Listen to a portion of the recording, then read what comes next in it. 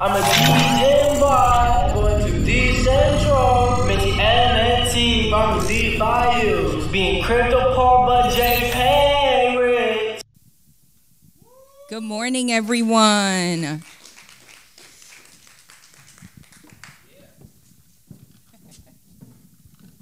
right, we'll wait for everybody to get seated.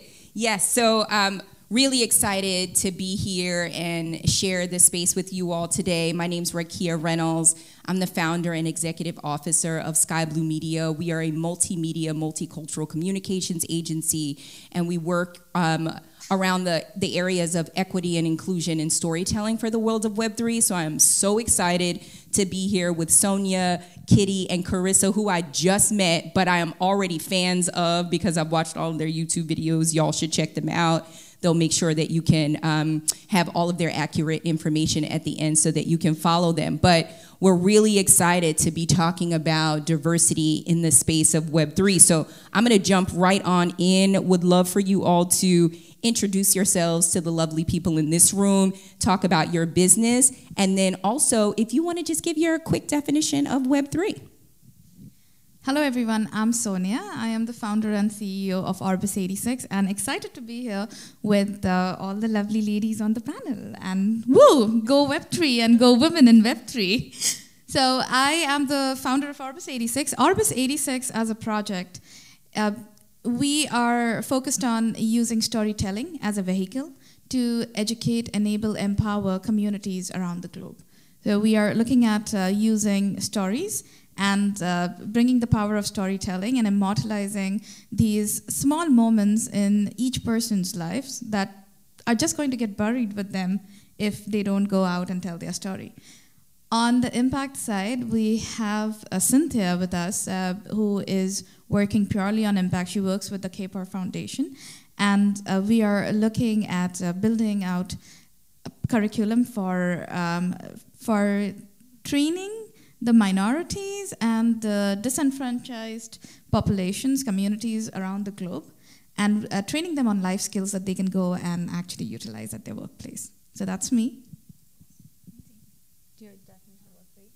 Um, so Web3 has so many different definitions, but to me, the one that excites the most is where Web3 will help uh, take down the monolithic organizations that we have. And since a lot of us are focused on, um, well, the world is focused on money, the way I put Web3 is, you know, Web2 created a, a lot of billionaires, right? And I think Web3 is where the community will get richer. So instead of creating Web3 billionaires, you'll probably have a lot of Web3 millionaires being created because everyone's coming together, helping each other, and we all help each other succeed. That to me is the biggest promise of Web3 that I look forward to. Amazing, thank you. Um, hi guys, I'm Kitty Like a Cat. I am founder of NFT Girl Gang, and I'm also head of creative for Avalanche. This is my second week on the job. Um, it's been an eight or nine month journey. Started as a art director at Meta, uh, dove in head first into crypto, and now I'm working full time in crypto. So it's been a really amazing journey. Um, met a lot of amazing people, uh, including these amazing women up here. Uh, my entire thing has been um, just creating my own opportunities and figuring out crypto with my friends. I created a blockchain solutions company and we built the world's first physical NFT gallery uh, last February and sold over 90 ETH. And it was the first time where we saw this was working. Uh, I've been an artist for eight years, and I was watching other artists be able to create NFT projects and get what I feel artists are, are worth, and, and being able to see living artists making a lot of money. I made a joke to my friend the other day. Um, it was really cool to see a piece of art sell for $69.420 million. And my first thought was, oh my gosh, this guy is alive. He's actually alive making money as an artist. And so I've been really excited about this space. And when I started, I've been traveling and hanging out with a lot of men and living with them and, and was really just, you know, where are the women at? How can I help them? And how can I bring more women into the space? And it's really exciting now, you know, a year later to be sitting up here with, with you ladies and, and seeing just more and more on each conference. And every time, you know, I just like to talk to other women and, and kind of see how they're doing What struggles are they facing? And how can I connect them with someone to help them? Um, which kind of bridges into my definition of Web3. You know, there's the technology behind it and the ease of use and the fact that I can send somebody money and buy something within seconds of any amount versus needing to go through all of the institutional institutions and any any sort of roadblock. Um, but it's also I, I feel it's a space where with those roadblocks removed, there's a lot of creative freedoms and ways for people to grow and build communities and build funds and, and really work quickly in a space with technology that provides that speed. So Web3 is exciting to me, and I am really excited about the communities and, and the really amazing people building in the space. You're, you guys are amazing, so I'm really privileged to be up here with you guys. My, my story is not as interesting. um, I'm Karisa Winett. I am the VP of Ops newly um, for NFT Genius. NFT Genius built the uh, viral uh, IP ballers, and they also built the Gaia Marketplace. Gaia Marketplace is built on the Flow blockchain. Um, Gaia Marketplace is looking to be one of the largest marketplaces that has mass adoption. We're looking to find solutions that enable people to have that simplistic ease to onboard and feel safe. Crypto is very scary, blockchain's very scary. We're trying to take the average person and, and show them the way. You can't just open a door anymore. You have to physically walk people through the door and show them the opportunities that exist for them. And we're firm believers in not only just opening the door, but walking people through the door to show them there's nothing terrifying, that they should be embracing this. And we want to bring Web3 to the world in a way that makes sense, that shows them that they're not just buying a picture, they're buying something that brings their communities together or something more tangible with bigger brands in, in terms of utility that they can use. A lot of the utilities kind of become stagnant in Web3. So we want to start to showcase that there can be much more when you buy an NFT or when you buy something off of our marketplace than what's currently being offered. And my definition of Web3 community. Um, web 1 was decentralization. We had static web pages that everybody went to. Web 2 was huge co co companies making large sums of money off of us. Web 3 is us breaking off as a community and saying, hey, we want a piece of that too because we helped you build that. Our pictures, our voice, our thoughts, our inspirations, our hopes, our dreams built your platforms and you're monetizing it and you're selling our data and you're selling us. We should have a piece of that as well. So Web3 to me means community and it means us taking back the power to be the best versions of ourselves. Ooh, Karisa is over here speaking truth to power. So one, I just want to give snaps and claps to all of you for being here. We're going to jump right in. Karisa, I'm going to pick up where you sort of segued, where you talked about it's a scary place. And, you know, Soniya, I want to turn it over to you and ask you with you know the the language the lexicon the vernacular that we're using in the world of web 3 sometimes it feels like a scary place because it's learning a new language in addition to all of the other things that devs are learning in the space of world in web 3 but for you, just thinking about general communities and all of the new language that they have to learn in order to adapt to the world of Web3, do you think that it will hinder some communities, or do you think that there are ways that we can be more equitable in our approach to diversify some of the language that we're using in the world of Web3? Well, thanks for that uh, lovely question, Rakia, because if you're talking about mass adoption, uh, understanding whether the masses are ready for adoption is the first stage. So let me ask uh, folks in this room, how many of you know the term HODL? So there are still over 50% who don't know, right? And this is just one of the many acronyms and lexicons that have emerged in the space of Web3. It's, it stands for hold on to dear life. well, uh, I'm not going to get into the definition, but let me ask this, okay? Um, we all know that there are people in the world who don't speak English. What percentage of the world population do you think doesn't speak English at all? Anyone wants to throw in some random numbers? Sorry? 80? 80? Anyone else? 70? Well, it's actually somewhere between the two. It's about 75% of the population in the globe, 75% of 7.753 billion people who don't even speak English at all. that in itself is the first barrier to adoption. Right? Forget about the lexicons, but just think about when you talk about Web3 being a place for everyone, how is it going to be a place for everyone when they, can't even understand what they're reading? Hell, I speak fluent English, right? And I am pretty good at reading, and I still don't understand a lot of the stuff that's being said, like staking, yielding, farming. What exactly is happening? What am I farming, right? I, well, I have understood it now, but the thought is that it's not just about Web3 specific vocabulary, but it's also about the adoption that we're talking about. Uh, so Karisa and Kitty, you brought up some fantastic points, right? Like Kitty, you, Karisa, you spoke about the promise of DeFi, right? Like how DeFi could actually, decentralized finance could actually solve the issues of intermediaries. Here's the thing, of the total bankable population in the world, 1.8 billion people do not get access to banks because the banks think that these are not a good fit to be our customers. And these people, because they don't have access to banking, they lose out on all the opportunities that a lot of us in this room take for granted. Because now payments cannot be made. So, for a person sitting in Nigeria, getting payments made in US dollars is a huge headache. And a lot of the employers will not work with them, even if they're off, off, uh, offsourcing some of their work, because payment is a problem. And these people now in the world of Web3 are transacting over Solana wallets, Ethereum wallet. And for them, $100 a month is a big amount, right? So even for $100, the banks are not going to really treat them as their customers. So if we are really talking about bringing on board all of these people onto Web3 and using this promise of Web3 to enable, empower all these masses, meeting them where they are that is important. You know, it has to be intentional.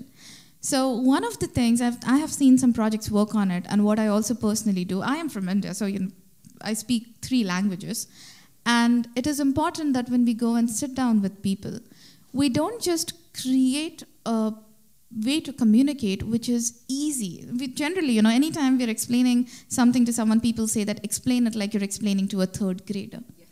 right? So that is one thing that we have to do with Web3 simplify it so that third graders can understand.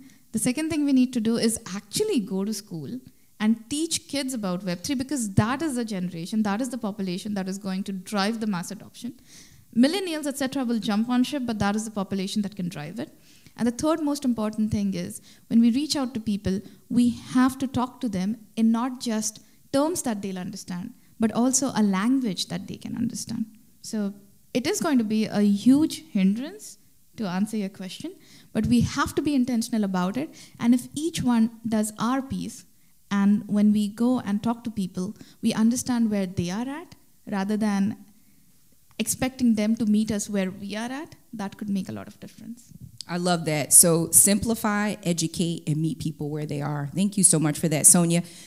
Kitty, I'm going to turn it on over to you um, because it, this is such a rich conversation. You know, um, you talked about your background with with NFT Girl Gang and being a creative director, creative director for Avalanche right now, which is super awesome. So you know that we need diversity in the world of Web3 and the metaverse. And and you spoke recently at NFT Miami and you were talking about consumers and brands. So not only from a consumer perspective, but the people that are actually working to build and to be architects of the metaverse and be architects of the world, you know, in the world of Web3.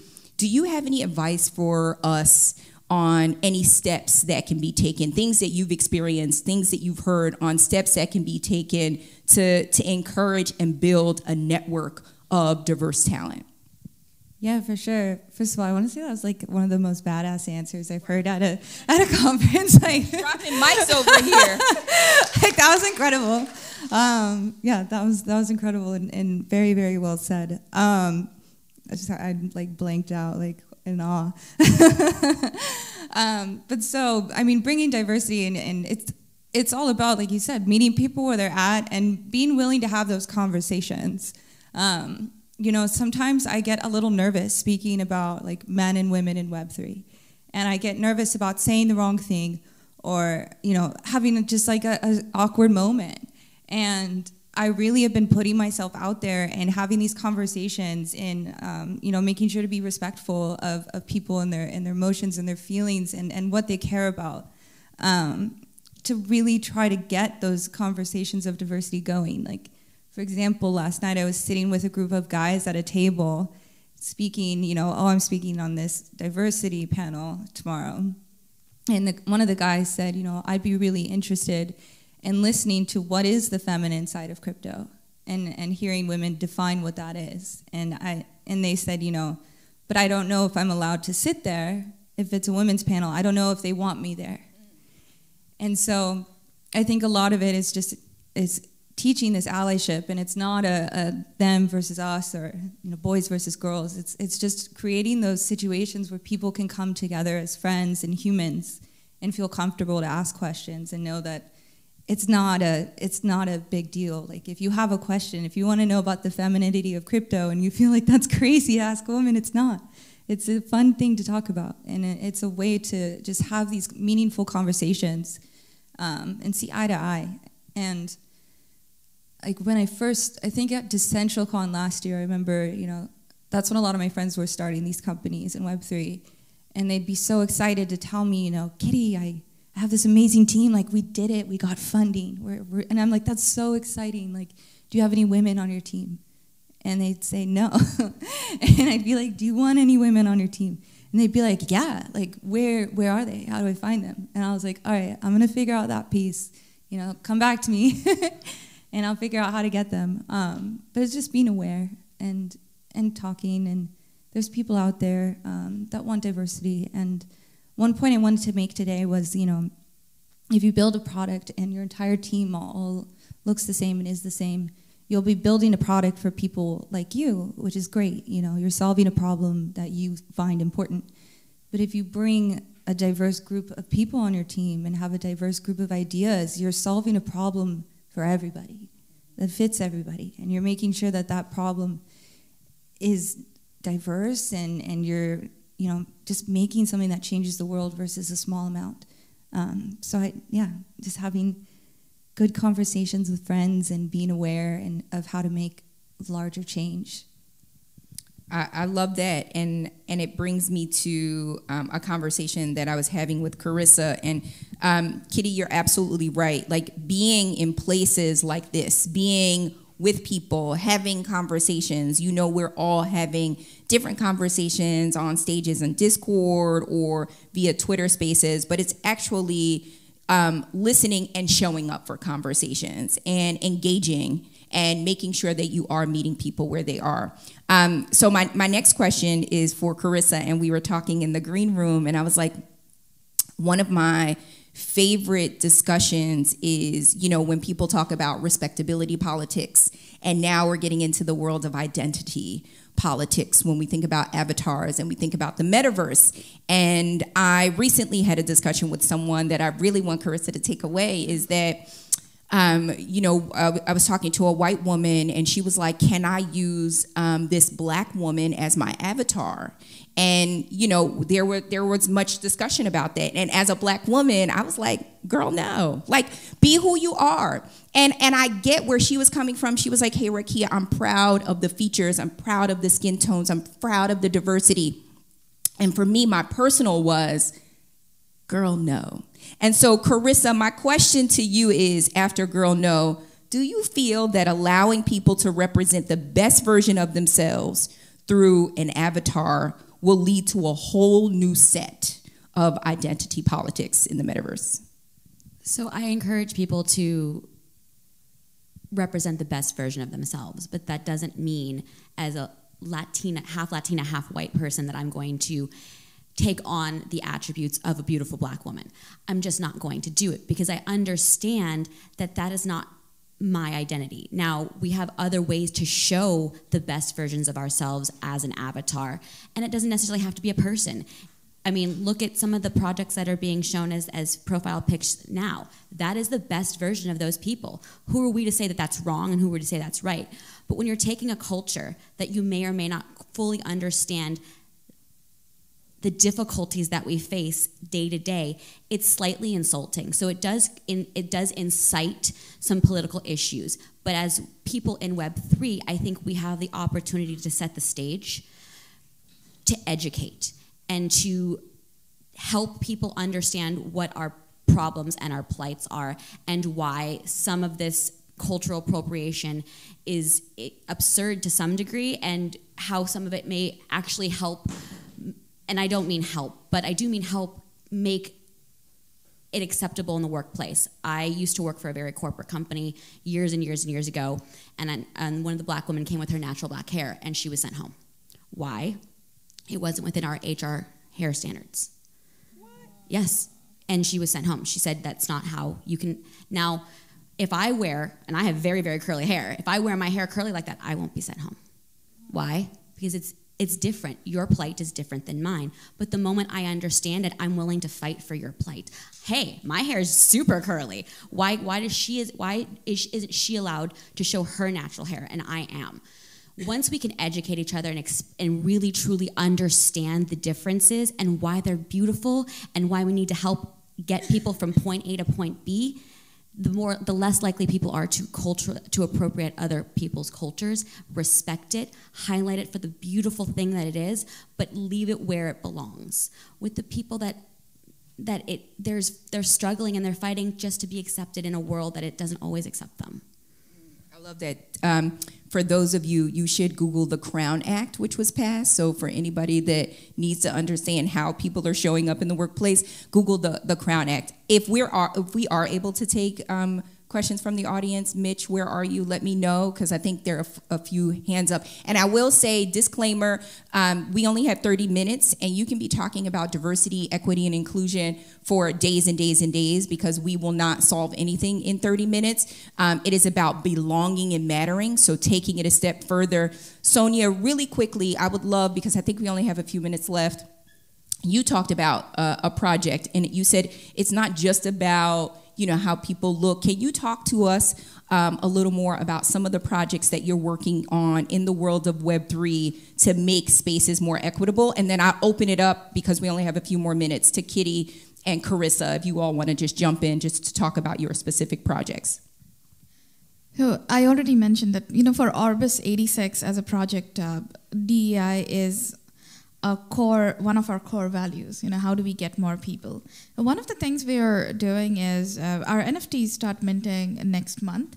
And uh, we have collaborated with about 50 musicians and we are giving away the full 3d file not just a pfp but uh, we would be dropping at least two nfts one is the music clip and the other one is the the file itself the pfp and the blend file um, and I'm sorry, I'm not trying to shill my project, but where I'm getting at is one of the ways we are trying to enable bringing people in is the the idea of dropping two NFTs is if I get two NFTs, I keep one, but then I give an NFT to another person that I think should be onboarded to the community and benefit from the community. And that is important because, you know, again, if we talk about Web3 trying to bring in everyone, how are people going to get into Web3, into communities, if you have to, even on the day that a good community is, uh, you know, like uh, their minting goes on, you have to pay at least 300 or 400 dollars to get into that community. That is not very accessible. So you have to think of how your community can impact others who are willing to help. So when we started the project, we thought that, okay, you know, our, our collection represents different races, ethnicities, and we thought we'll focus purely on the DI group. But then we realized that the group that we want to impact, see, uh, globally, first of all, our Web3 community and the NFT community, we might think that it is a very large community, but in like Feb and March, there were only 27,000 wallets that actually transacted on OpenSea. 27,000 people is not a large number, right, in the grand scheme of things. So uh, we realized that okay, we cannot uh, just you know narrow it down to DEI. And the other thing was that a lot of the folks that we want to impact are not there in Web three, right? So, but the people who are there in Web three, thankfully, ninety percent plus of those folks, at least personally that I've met, they are interested in making an impact. They just don't know what to do. So what we thought was we bring together all these people and then lead an impact revolution. So we want to be the voices leading the change, right? We want to, we are already partnering with some nonprofits that work in that area, and all the NFT projects do, so I'm not going to uh, specifically work on that. But the thought is that, hey, even if, uh, you know, you might not belong to one of those communities, but like Karisa said, if you understand what are the problems that they go through. So as I, so Cynthia, uh, you know, who's working with me, and she's a beautiful black woman, and I was telling her that I, I don't like to talk about uh, the you know the problems of the black community as much because I feel like an imposter doing that. But then I was telling her how I read Roots, and she was like, "Girl, you have read Roots." and I haven't done that. And there was Corey who's also black. I haven't done that either. So she said, don't feel like that because being a black woman, I can tell you that I appreciate you thinking about it from an empathetic standpoint than just, uh, you know, glancing and talking about it superficially. Awesome. Thank you. I'm going to rush through this. Kitty, I want you to you fill out your chair. You are so confident and I love how you are showing up for the world of women. Talk to us really quickly about things that you're doing in your spaces to create more spaces for women. Yeah, for sure. Um, so yeah, with NFT Girl Gang, I essentially created it just with my friends to create a space where we can come together. And I've been kind of using the Disney method of being slow, you know, and really figuring out what I want to do with Girl Gang. And so I've decided I want to be able to speed up the process. So it's taken me a year to figure out how to create a company. It's taken me a year to get a job in crypto. I want to help women do that super quick. They don't have to go to 20 conferences. They don't have to get up on all these scary stages. They can come into Girl Gang. I can help them meet the right people and create this, this community of, of speed to get more women into crypto. And so with that, I'm having a Baddie Summit uh, June 20th at NFT NYC, celebrating the last you know amazing eight months. Would love to have you guys there, um, and having another panel, actually all female panel, and uh, creating an accelerator and headhunting program for women to get into Web3. Awesome. And Karisa, I want you to take us out, but then don't leave the stage yet. Let everyone know where they can find you. I know, Mitch, we only have one more minute. Karisa, take it away, and then everybody shout out their handles and places people can find you. Same question. Yeah. Oh. Uh, I'm I'm actively like I spend hours talking to our team about how to bring more diversity into our team. And a lot of what I do is I'm a woman and I'm one of three on our team.